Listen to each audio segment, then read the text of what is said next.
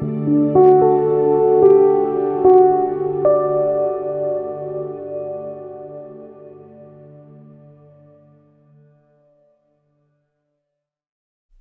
everyone, uh, welcome to the second conference call of the year. a lot has happened since we last met, so we've got a lot to update everyone on. Enzo, I see you're here. Um, William as well. If uh, Enzo, would you like to give a, a brief update on some of the things that have uh, been happening since we last all met? Thank you, Ryan, for your introduction. I just want to say that uh, we are at a good point because um, we are still waiting uh, the approval from the Ministry of Health for uh, um, the next uh, uh, step of animal um, on test on animals. Uh, but uh, we are moving forward anyway because we know that the ethical committee for uh, protection of animals accepted our request, so we've been approved, uh, and now we are waiting for the authorization of the ministry. Uh, we did uh, the first um, set of experiments on a cadaver, which is something. Uh, let me let me be proud about it. You know, we are not, uh, as you know, most of us, you know, at least the founders, and you know, we are not scientists. But according to the law, we should do, be do only um, you know test on rats and then animals and then move um, directly on a human trial. But we decided to work before uh, um, to arrive to a human trial on a cadaver because you want to try the surgery on a cadaver just because uh, we are very scrupulous and we want to do things uh, very very well, very precise. So we did the first thing and uh, we are, uh, I would say, satisfied for what we did so far because we are trying uh, different options of the surgical technique coordinated by our main plastic surgeon, Tor Michele Riccio.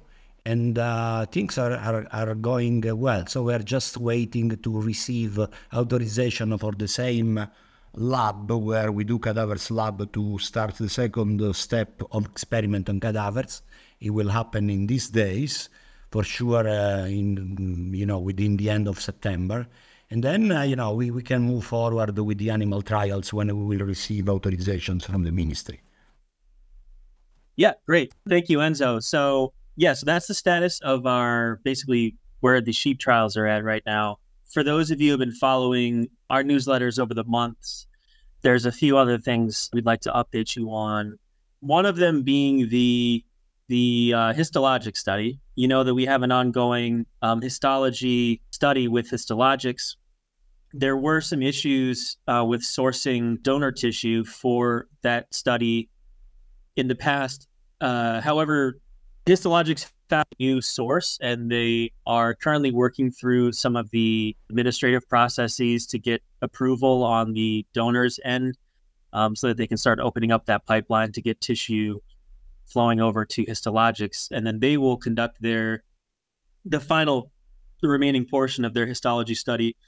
And after that, we'll be able to publish the results, and uh, they will provide us with detailed images. And William can fill you in more about what that will entail. But then we can pass those along to you, and um, you know, add to the to the body of scientific knowledge out there on the anatomy of the foreskin, so that we can have a greater in-depth understanding of of the value of it and you know why it is that we are working to regenerate it for those who have been uh, circumcised and are not happy with that. Um, also, as you know, uh, Dr. Rossi in Italy has also uh, been contracted. We've also contracted with him for uh, producing a histology study that's different in scope from the one that's being done by HistologiX. And the source of tissue for the, the new source of tissue that HistologiX has found uh, should be able to provide tissue for Dr. Rossi as well. So we should be able to move forward on both of those in the near future.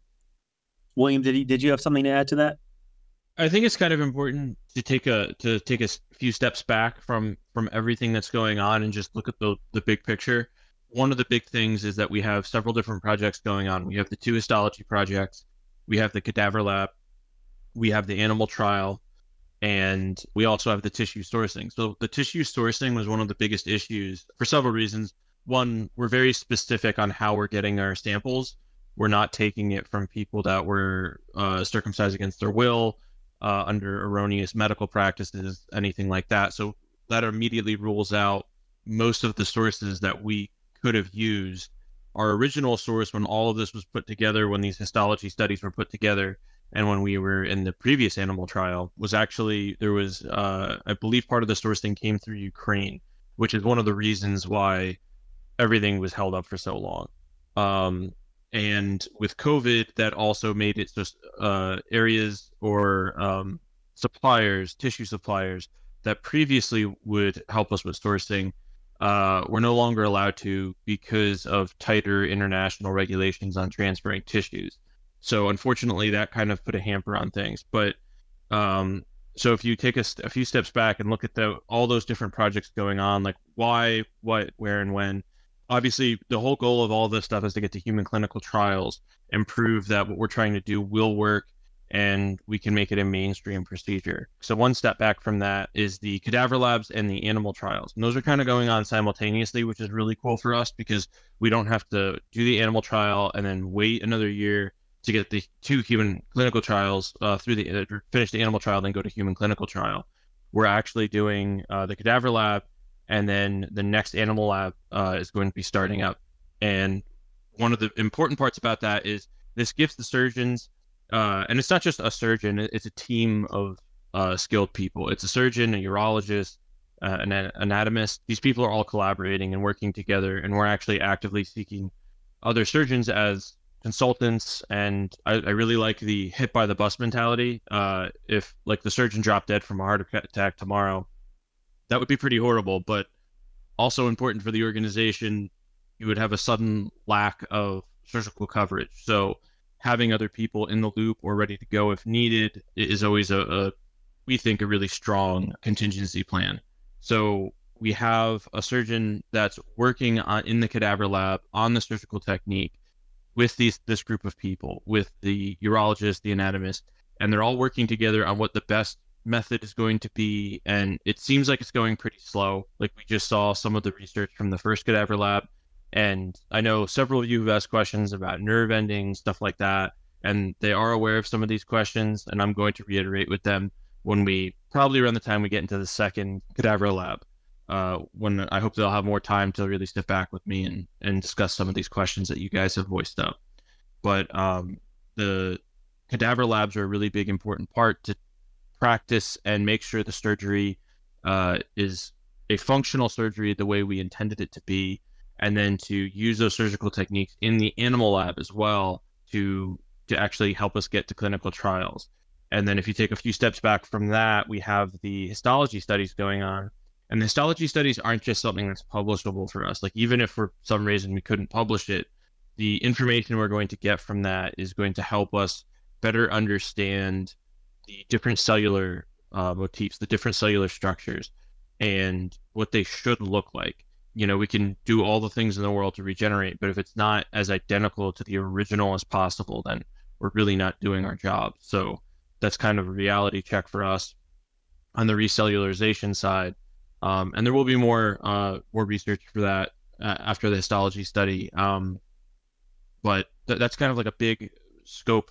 Uh, taking a few steps back from several points, you have the histology you have the animal trials and the cadaver lab, and then ultimately the human clinical trials. So, um, Ryan, do you have anything to add to that, or any more points to throw on? Yeah, thanks. Uh, thanks a lot for going in depth there and catching us up. And I was going to say maybe I'm jumping around a little bit, but you touched upon nerve endings, which innervation is something that gets asked about a lot. And I wanted to pass the ball back over to Enzo because I think, you know, Enzo, you have some information to share about your looking into um, specialized nerve structures such as Meissner's corpuscles and the work that you've done to bring on new um, expertise to help us tackle that issue? Yeah, I, I found these uh, important publications online about the nerve endings of the foreskin, and I found out they're all made by the same person. So what I did, I contacted this guy, and it was very, very nice guy. He answered um, you know, immediately, almost immediately. uh, like after a couple of hours, and then we started to to talk. Uh, also, we exchange our phone number, so I can call him anytime. He lives in Spain, and basically he's um, uh, he studied the nerve endings of the foreskin for the last 45 years, so he knows everything. And um, I like to think about our project that is um, a pioneering uh, uh, biotechnology project, but uh, also traditional surgery in a certain way. In a certain way, so we can uh, link the two the two way of thinking. Uh, the traditional surgery, so the surgery, you know, has, has made traditionally always in the same way in uh, on the human body. Yeah, we need uh, obviously, you know, surgeons, uh, specialized plastic surgeons, but also with these pioneer pioneeristic ideas we have, and uh, you know, I like to um, to think that we can do both. So, to talk about this doctor, Dr. Uh, Jose Antonio Vega, he uh, explained to me that it's not um, difficult to, to re- uh, reinnervate basically the foreskin. Obviously, it's not easy, but uh, with Dottoressa Bondioli, we are thinking how to uh, get over the obstacles. So, uh, we are going to use the same at uh, the right time during the surgery growth factors and specific stem cells that will um, allow uh, the, the, regeneration. So, in addition to the uh, stitches and to the traditional surgery in which uh, we will transplant the foreskin, we are going to add this a novel um, technology with stem cells and with the knowledge of Dr. Vega about the nerve ending. So I'm very satisfied and I'm very optimistic about the result. Yeah, I am too. And I think maybe um, maybe we could talk a little bit about, you know, we've talked about where, where we've been the past six months. Now we can talk a little bit about where we are now and what we are hoping to achieve in the near future, in the short term, long term you know, after the first round in the cadaver lab, Dr. Riccio um, made a lot of important discoveries, learned a lot of important information, and gave a presentation to the board. And it's helped to inform, give us more options in terms of what the final procedure that we use in human clinical trials will look like. And so at this point, we are the team is assessing that and looking looking at what we need to do in the next round of sheep trials in order in order to prepare ourselves to hopefully meet our goal of getting ourselves in a position to begin human clinical trials in late 2024. William or Enzo, do you have anything to add to that in terms of where we are at now and what we're looking to do in, in the near future? I, I can add in there that the next round of Cadaver Lab, I know one of the big points is to definitely try honing down the surgical technique. And uh, additionally, there was, I think it was Dr. Riccio and a few of his colleagues were interested in making sure their microsurgical techniques are essentially planned out correctly. There was a lot of talk about where they would split into uh, arteries or how they would get uh, innervation. So I know a big portion of the next uh, cadaver lab is going to be them uh, investigating into that side of things. Obviously, I haven't gotten a report for the next cadaver lab yet or a um, uh, itinerary or plan yet. So we're really eager to see what their exact plans are for the next cadaver lab. So it's it's moving along. And as far as the animal trials, I, I think we kind of like uh, talked about that where we're we're in the paperwork process. Unfortunately, we got the animal. Uh, I forget what which committee approved and which committee we're waiting on, but that's unfortunately the case with systems like this. Not just in Italy, but in the U.S. There's a lot of red tape and there's a lot of different hoops to jump through. Very similar for human clinical trial, and uh, that was actually something that we talked with with the surgeon is uh, approval for surgical techniques. So that's another piece of the cadaver lab that's going to help us if we can get a jump start on the paperwork for the surgical technique approval, so that we can start the human clinical trials when we plan to. We're uh, actively talking with the surgeon about that, and then when that can be done, at what point do we need another cadaver lab, or do we need uh, after the next cadaver lab can we start that paperwork, uh, that kind of stuff. So there's a lot of logistics that are going on right now. Super boring part that no one wants to hear about. Um, there's a lot of logistics surrounding how to get to where we want to be. So, Animal Lab, you need to have all these approvals from different committees. So we have the samples and everything ready to go. That's that's not an issue for the Animal Lab. For the Cadaver Lab, I believe it's scheduling the next time slot so that we can have the relevant people present and then be able to get on site.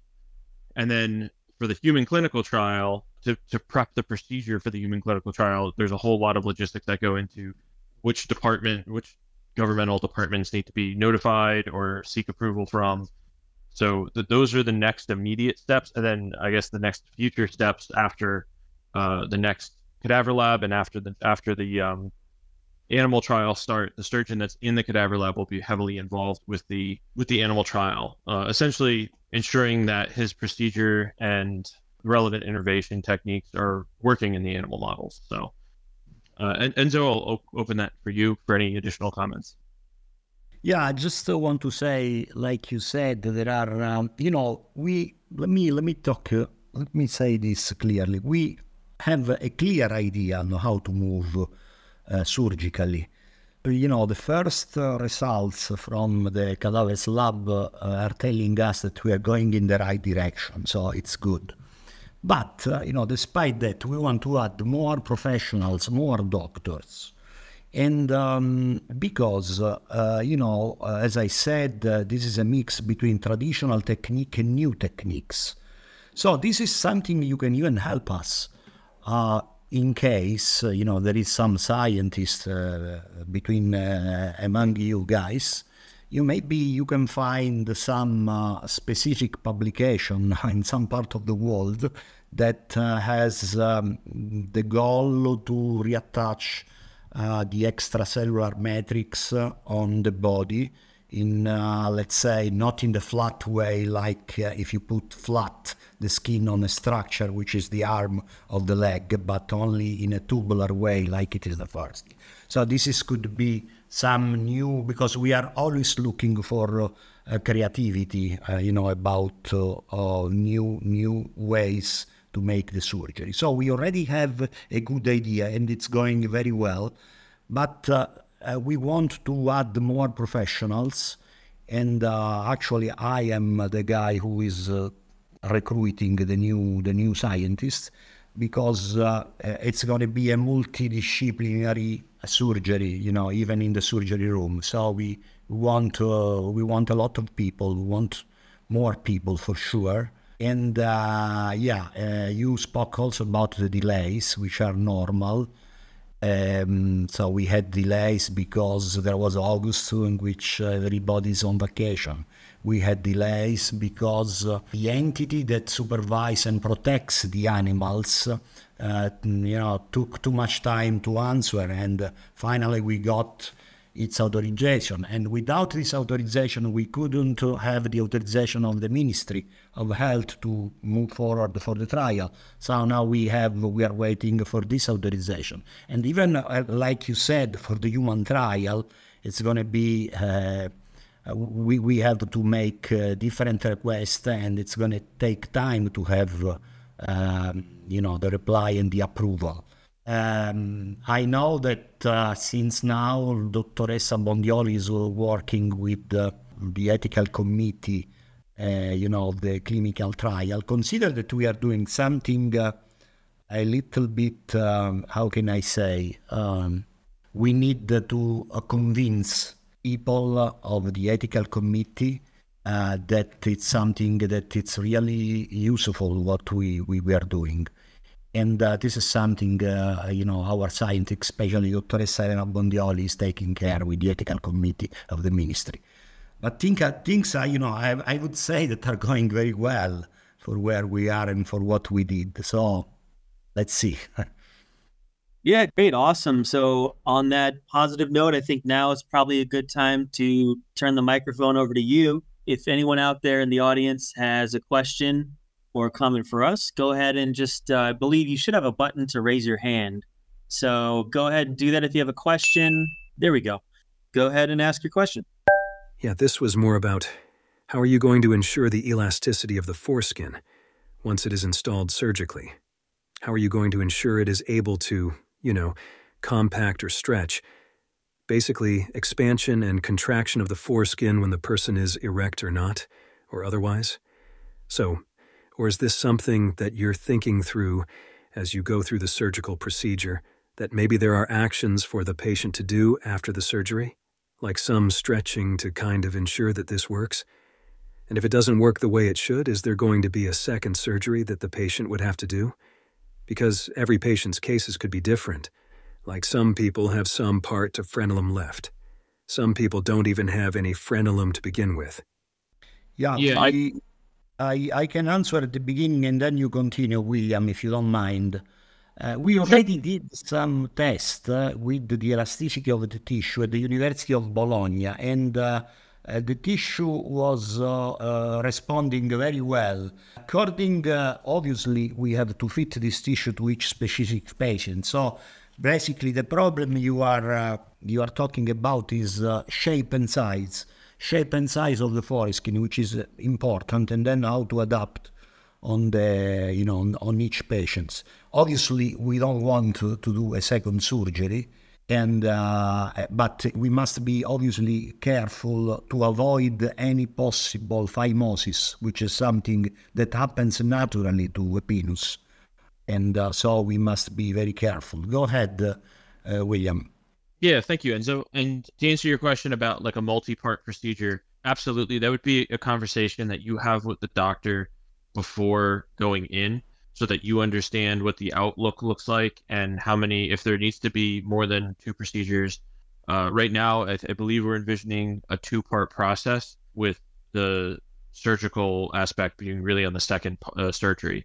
To answer your question, if like a frenuloplasty or if uh, an additional surgery is needed, that may be the case for some people, but that would also be something that in the co- consultation with the doctor when you first when you first meet up and discuss you know what your expectations are and the surgeon speaks with you that would be where you discuss how many surgeries it would probably take and what the outcome w- would look like. And uh, to kind of answer one of the topics that enzo brought up is the shape and size of each foreskin and the shape and size of every patient is going to be different that's part of what we hope our LIMS system will help us with. We actually, uh, Ryan and I are actually going to be playing with the LIMS system, just preliminary, poking around it.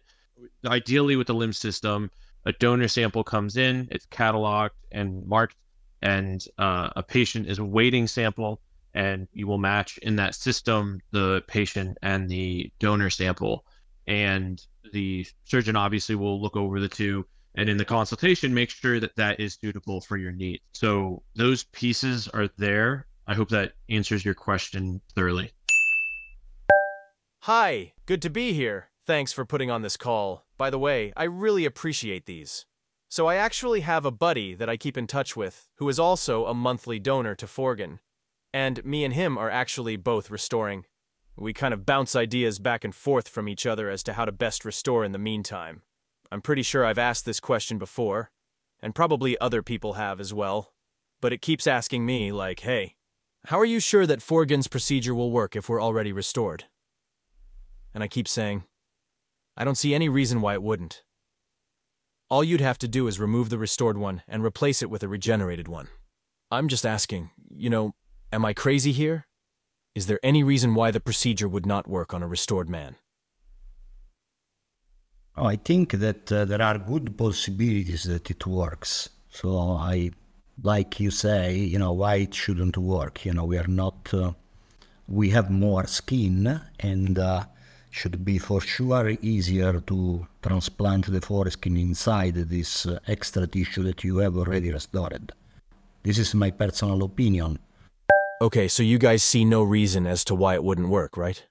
yeah so i, I was going to say um, based on the information we currently have and everything they're, they're keep doing what you're doing there's I, I don't see any reason surgically why you wouldn't be able to continue as enzo said the technique we're looking at now it looks like essentially what enzo said like there, there there's no reason to be removing that skin that you've regenerated we could use that for the procedure um, to help Would you guys most likely just be removing the restored skin and replacing it with the regenerated one?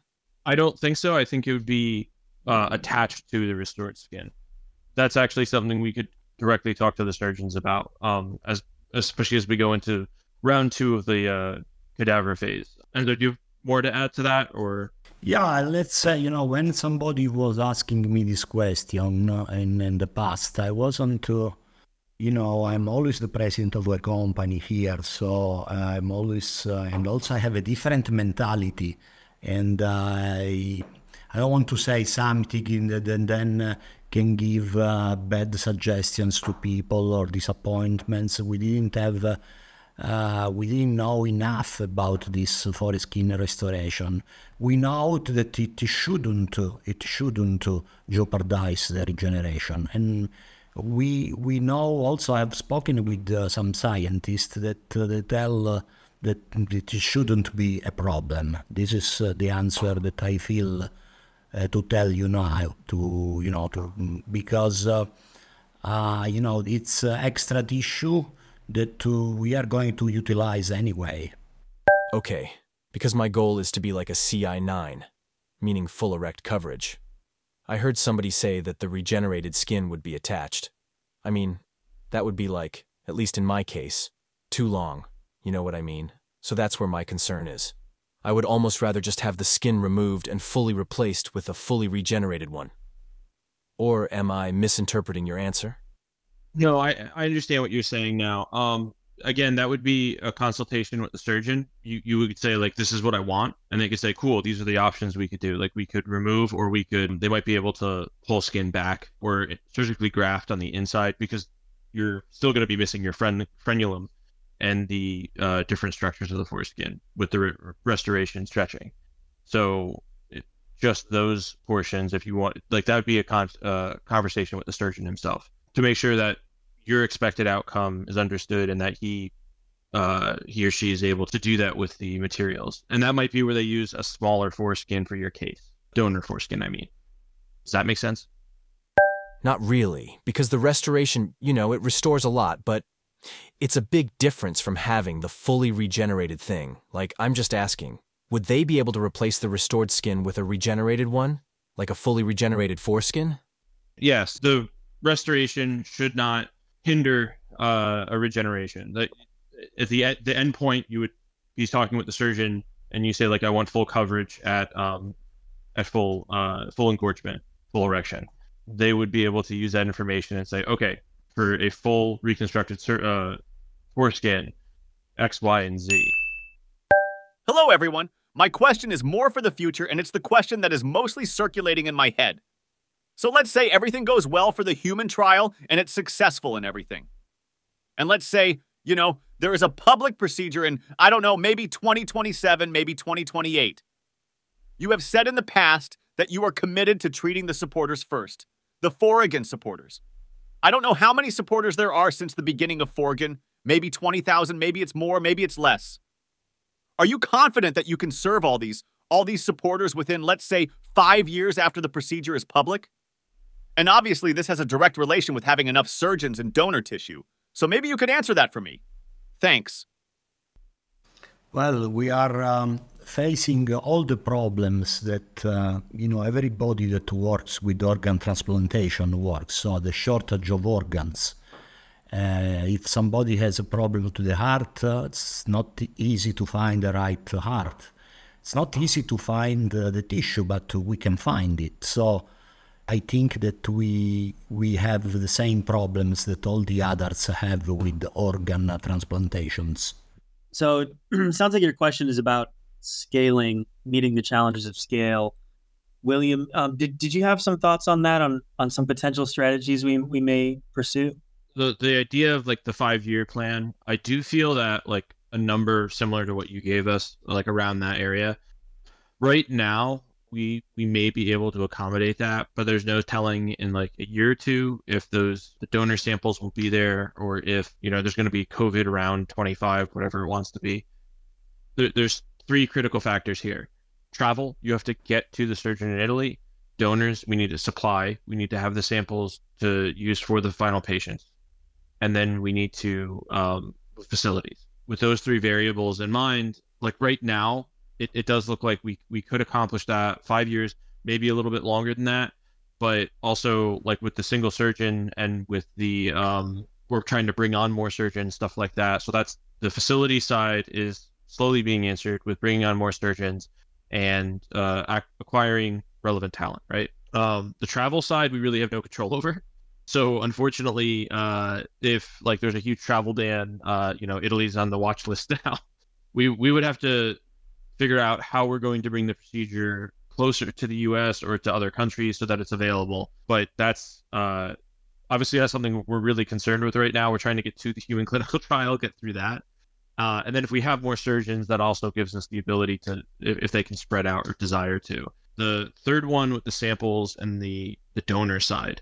So that's one that we actively have been talking about. And one of the big things with that is after we get through human clinical trials, right? We're not done. We, we have a lot of work to do still. And one of the big uh, the big pushes that we've been talking about, and after we get through the human clinical trial, it's an approved procedure. The procedure can carry on. Uh, the certain, you know, now the surgeon can accept people, you know, from the from the donors side to come um, from you you guys, like from the donors for Fortune. I mean, uh, to be patients for the procedure. It's been approved. One of the big things for us is looking at ECM production sourcing and also potentially working with bioreactors to regenerate uh, regenerate the material that's needed on a larger scale. So we have to get to that point first, and then we can. Uh, and again, once that point is is set, that the human clinical trial. Once we get through the human clinical trial, we do have the support to carry on from there. But obviously, to help larger numbers and to mass go into like mass production. I hate saying that; it's not really mass production, but to go into uh, a mass care uh, type um, endeavor, we there's going to be more research needed. So, um, that answer your question more thoroughly? Yes, it does. I mean, obviously, the organization is interested in serving way more people than Foregen's supporter base. But I was wondering, you know, about the supporters for us, everyone in this conference. I think every single one of us is interested for themselves, for the surgery, you know? I can understand that there might be scaling problems in the future. I'm not too sure how it will work, even for the few thousands, maybe 20,000 supporters. I don't know. That's why I'm asking, but thank you for your answer. Yeah, no, for the for the 20,000 for that part of the answer, I like you said like a five year plan. I think it would be more realistic a 10 year plan, something like that. But again, that's like right now with the samples and with the logistics that we we have under our belt now. That may change in, you know, we if we lose this uh, sample, uh, a donor uh, pipeline, that could change. Um, if a if a rule so that that's just one of the the hurdles, one of the logistic hurdles that happened, right? That happened with our with our uh, one pipeline for samples, and that set us back. Uh, I want to say almost set us back two years, um, along with other variables, of course. But that like it, it's um, it's a hard answer to to give a solid number on. Um, I, I think that like a 10 year timeline for roughly that amount of people is a realistic, uh, especially when we have the more surgeons. Uh, I think that's a realistic number that we could chew on and then projecting on beyond that, we would definitely be doing research into the ECM production, stuff like that, so that we could we could serve people faster. So like let's say five years in, we have something in place, we could serve people faster. So there's more research needed as well after the human clinical trial. But once that's vetted, we, we definitely have we're in a setup uh, that we we can help the people like on this call that have been donating and supporting us from the get go. So So you were saying 10 years from from public release? Yeah, just, just as like a rough estimation. Yeah, for that amount of people, yes. Yeah. Okay, okay. Thank you very much. If I can add something to this uh, discussion, consider that uh, we want to finish the part of the human trial now. But uh, when we finish and we analyze the data, you know, we want to create uh, another project, a second project to serve, you know, the thousand, the hundred thousand of people that want their forest foreskin back. Obviously, you know, it's going to be crucial to know, to demonstrate to our future um, donors or um, funders uh, that uh, the first human trial is okay. Uh, so it's also a question of how much money we will have when we will decide to move forward. Um, everything, uh, you know, costs, as you know. So the research is very expensive. We are, uh, we've so far we have been very uh, good to, you know, to work with not much money. But if we want to uh, give uh, uh, 100,000 um, foreskins to 100,000 donors, or 1 million of foreskins to 1 million, no, it's going to be a completely different and much more expensive project in which, uh, you know, we need to convince uh, uh, funders, uh, people who want to invest. And um, so consider also this factor. Yeah, and I'll just add on to that that sort of adding on to what William and Enzo said, human clinical trials really is what we're focused in focused on right now. I know in the past things like 3D bioprinting have been mentioned, other forms of tissue have been mentioned, ECM production has been mentioned.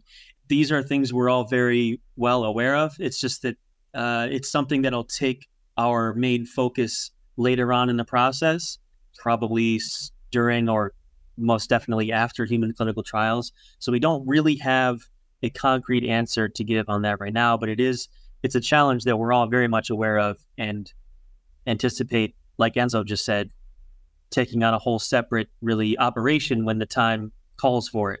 So that's pretty much our answer now. Um, I have a question about like whenever the procedure becomes public, it's about pricing. I know your frequently asked questions says around $10,000. Is that still accurate or will it be higher or lower? Do you guys have any more information about that?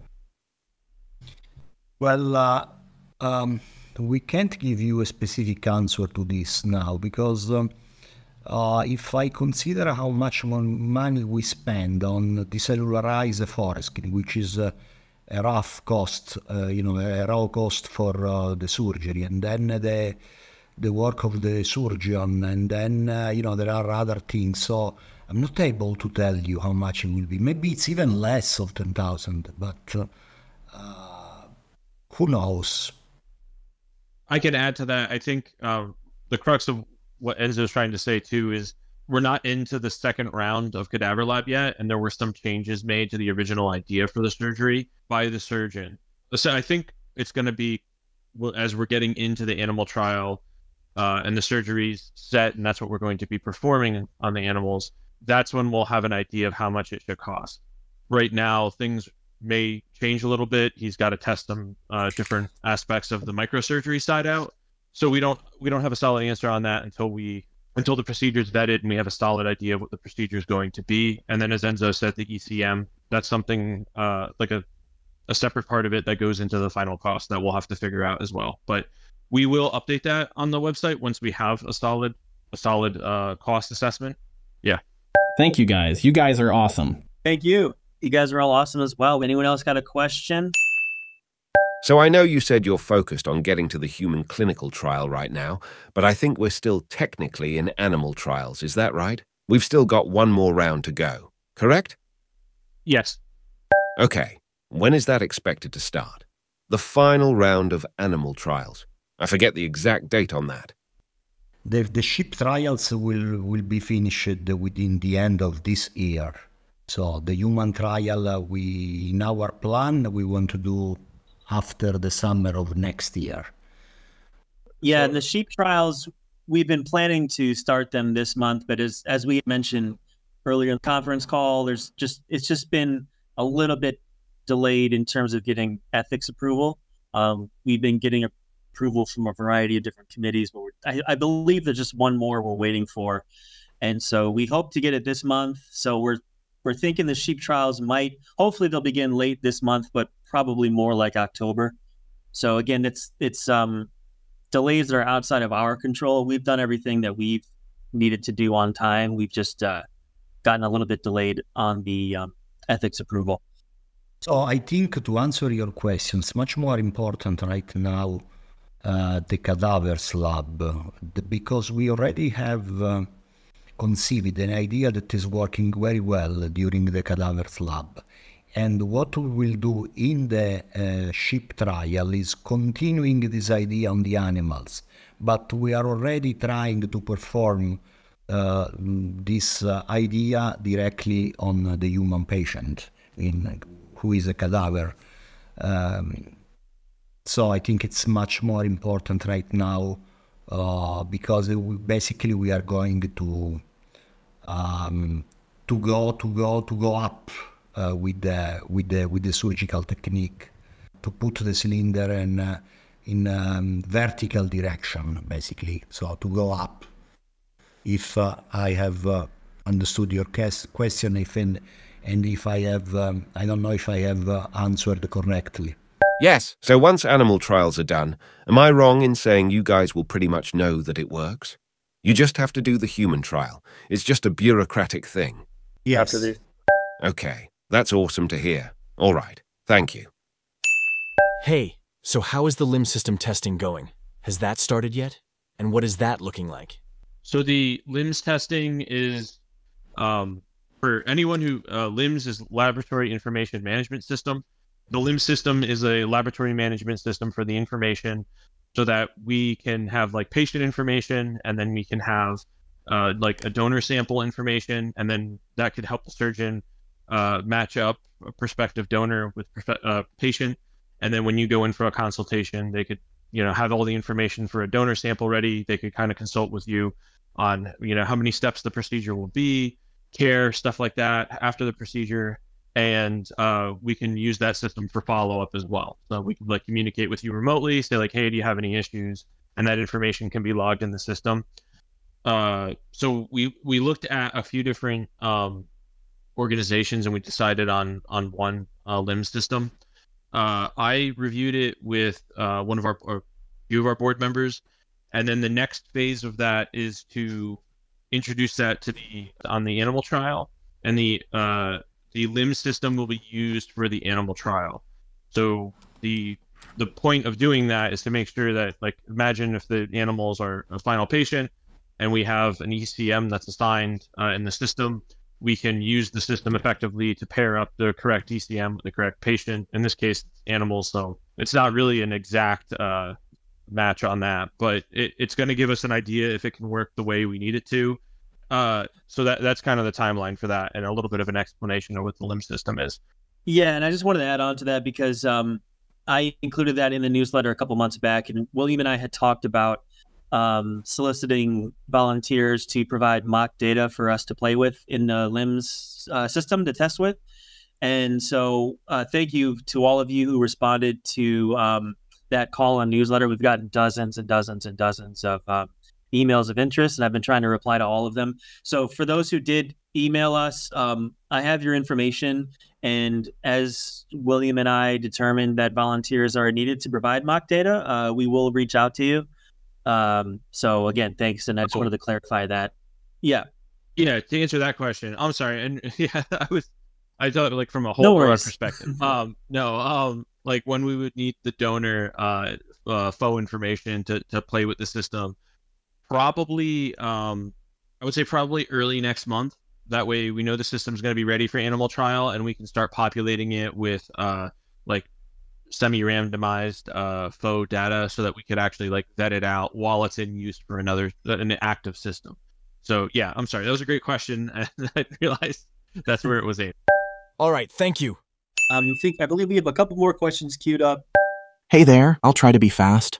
I really appreciate all of your time. One thing I've heard a lot, especially in the last year, is that the focus right now is on the clinical trials and getting those out, you know, successful and all of that.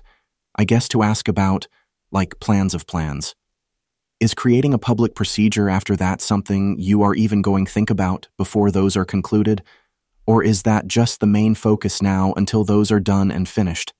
And then maybe you even working with partners or doing it yourself, like making the procedure public after that. Does that make sense?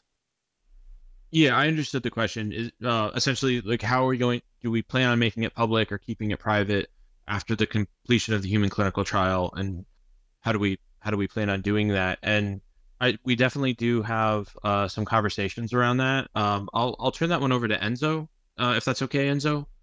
Uh, yeah, I think it's um, we have thought to this obviously, and um, you know, we would like to do some private uh, surgery after the trial, and of course, uh, the only thing, obviously, uh, we have to wait at least one year after the trial because we want to be sure that every update on the patient uh, is done correctly and we don't know and we know exactly that there are no infections or you know collateral effects. That, that's the way i would uh, feel to answer to your question. But we have definitely uh, thought to a possible procedure with the obviously with the um, amount of uh, organs uh, we can count at the, at the specific time because you have to consider also this problem.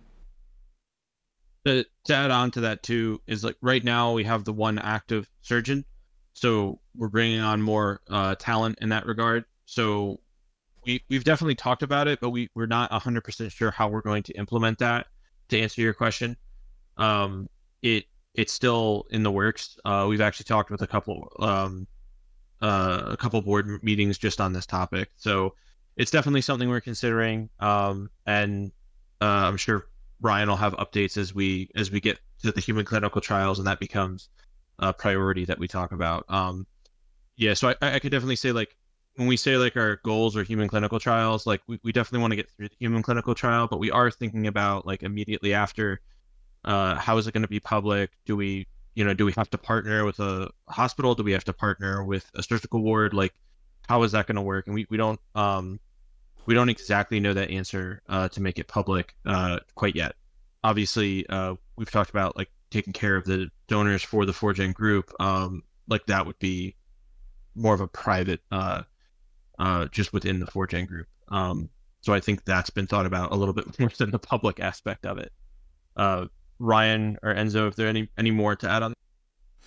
No, I think that uh, you know, just uh, I, I, I want to thank you because, and I want to thank all of you because without uh, your donations, we we we wouldn't be where we are. But the reality is that. Uh, uh, you know, we understand also because we understand also the pressure and the expectations that you have uh, which we consider this. But uh, you know, the reality is that we are really, really focused on uh, on the on the human trial right now. So that's because we have. Uh, we are um, squeezing our brain to find the best, uh, uh, you know, option for the surgery, the best innovation, the best doctors, the best idea, the best creativity. Uh, the best team because uh, we we want to add more people. And as I said even if we are fine right now it's just because we care we care of you for you. And um, we wanted to do it perfect. Yeah um, that pretty much summed it up. Um, I think we have time for maybe one more question. And by the way um, thank you to everyone who's been contributing to our GoFundMe fundraiser. It's approaching 16,000 now, which is awesome. And that's going to, those funds are going to go a long way in helping make sure that we are, um, you know, more than, more than okay financially as we prepare for the human clinical trials. Again, thanks a lot um, for your support there. I have a question. I was wondering to what extent will qualitative outcomes be tested in the clinical trials? Like in terms of sensations or general experience, like how it actually heals as opposed to just, is the thing innervated or not, falling off? How will you measure the regenerated sensation? I, I would like to think about this. This is something for uh, who has been circumcised as uh, when uh, he was just born. It should be something, uh, a nice pleasure for the first time of his life. So I, I see things in a, in a romantic way because for people who underwent to the surgery as adults, they already know what they expect. Maybe they can tell us better than uh, than the others if uh, it's uh, what they were expecting in terms of regeneration. I think that if we do things correctly, I'm pretty optimistic that regeneration will occur and it will be successful nerve regeneration, I say. So is that something that is being measured or targeted in the trials? Or, I don't know, is it a next step kind of thing? Enzo's brought this up a few times that he's actually talked about setting up uh, like a side test in the trial because this is essentially the first time this has ever been done, and it would be essentially exactly what you you asked, like having uh, a quantitative um, or qualitative uh, test uh, set up where people that go in uh, before the procedure uh, give their feedback and then after the procedure give their feedback at different points. And and we've talked about this. We we haven't come to a solid decision if it's something we're going to include. I i think it's a good idea to include a, a research like this um especially after like to, after the procedure to show like validation that you know it's it's a meaningful procedure. Uh but um yeah and i Enzo's on the same wavelength. He's brought this up a, uh, a few times about like the sensation uh, and measuring the sensation because there have been a few research uh, papers out there that were um, a little bit lackluster in how they measured sensation and uh, how they measured what they measured and why. So um, it, it is a really excellent question, and it is something we've discussed, but I don't think we've Enzo, do you do you have any more on that? Like, did you did you have? No, I think the, the question uh, the question is great. Also, as you know, that I'm very, uh, you know, what, what I really want in this um, mission, I want to achieve regeneration. So the would uh, the best way to answer to your question is that we should uh, measure uh, before and after the, the surgery to each guy that undergo to, to the surgery. So, so do some tests in some way, but we haven't thought exactly how to do, you know, precisely. Thank you, guys. Yeah. Thank yeah. You. Thank you. No, I appreciate that question. Um, all your questions. Uh, thank you guys. It's been really nice to t- uh, speak with the supporters, and and I know a lot of you guys uh, message uh, fairly routinely in the Discord and chat about this stuff. But it's it's really good to have these conversations. Thank you guys again.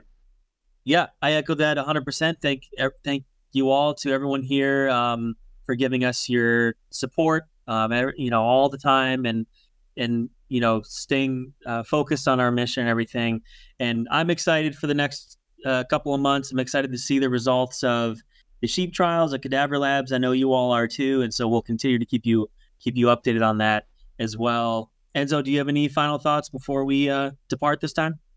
No, I just want to thank you. I feel very close to each one of you guys. Really, thank you very much for your support. Yeah, on that note, thank thank you all again, and um, we'll end it now. Take care, and we'll see you in the next call. And if you have any more questions, just go ahead and reach out to to me or um, or William in the chat, and uh, we'll go from there. Take care, everyone. Thanks again, guys.